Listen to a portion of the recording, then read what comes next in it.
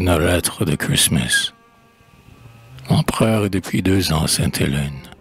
Le climat le fitterie de sa morte haleine. Il décline en dépit des soins d'Oméara.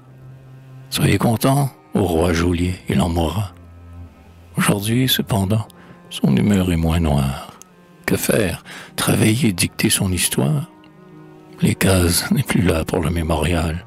Pensif, il reconnaît son masque impérial. Quant au miroir, après le bain, il se regarde. Puis, ayant mis l'habit des chasseurs de la garde, l'habit vert étoilé de la plaque d'argent, et l'illustre chapeau présenté par Marchand, le voilà tel qui doit durer dans la légende, et quand paraît au seuil le médecin d'Irlande, par qui se sent aimé le glorieux martyr, il dit presque gaiement Venez, je vais sortir. Mais autour de Longwood où se meurt l'aigle en cage, c'est toujours l'accablant et morne paysage, de gommières abougries et de cactus poudreux. Et dans les trois vallons bordés de rocs affreux, au bout duquel la mer au loin miroite et bouge, l'empereur trouvera partout le soldat rouge qui lui semble un verrou vivant de sa prison. Qu'importe. Il a besoin d'espace et d'horizon. Ce matin, la douleur de sa lente agonie se bercera, croit-il, à la plainte infinie la lame de fond croulant sur les galets. Il va donc, s'irritant du salut des Anglais, qui font de leurs fusils sonner les capucines. Il atteint le sommet des falaises voisines, mais quand du haut d'un cap il découvre la mer, un brique de guerre est là, qu'il voit, ayant l'air, inquiet du captif et de ses promenades, et qui braque sur lui toutes ses caronades.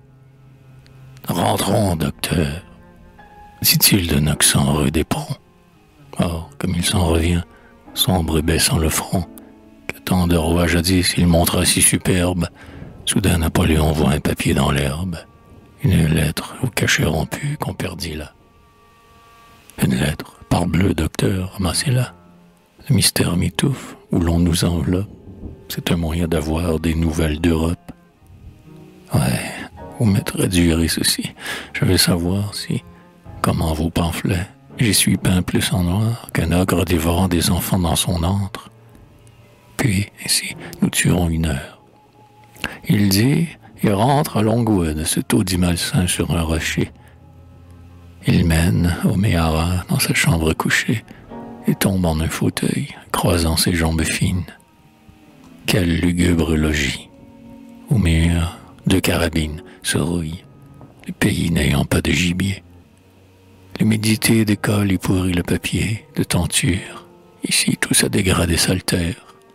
Quant aux meubles, voici le chétif inventaire, un vieil divan qu'ils a le frottement du dos, les trois lits d'Austerlitz sous de maigres rideaux, où le grand prisonnier veille des nuits entières.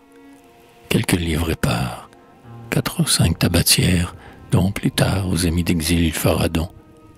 Des bottes dans un coin, sur un guéridon, les fioles du docteur que c'est petit qu'il méprise, pendues à quelques clous, la renégate grise qui rappelle Léna, Wagram et Champaubert. Des gants flétris jetés dans un tiroir ouvert. Sur un bureau mesquin, des papiers, une carte. Était-il mieux logé, le jeune Bonaparte, du quai Conti, quand la misère l'affama, et quand il empruntait Louis à Talma? Ce pauvre a l'Europe. Ô destinée! Un objet, là, sur la cheminée, reste, en ce pitoyable et sinistre milieu, bien cher à ce captif qui fut un demi-dieu.